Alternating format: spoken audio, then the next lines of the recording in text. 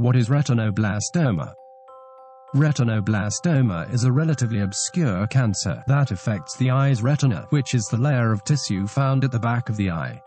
This tissue contains light-sensitive cells that send electrical nerve impulses to the optic nerve and onward to the brain. This rare disease is a genetic disorder affecting the retina's nerve cells, causing them to mutate, and is most commonly found in children. Retinoblastoma symptoms because this rare disease is most commonly expressed in children, discerning its symptoms become difficult. However, there are some well-known signs that a parent or caregiver can look for. These may include the following. Eyes that appear to look in different directions.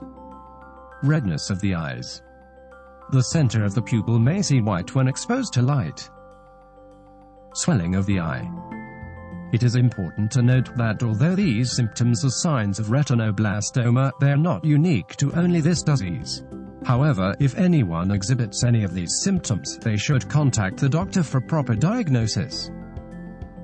In retinoblastoma. Some tests that the doctor may do to diagnose the disease may include the following. Eye exam. Ultrasound.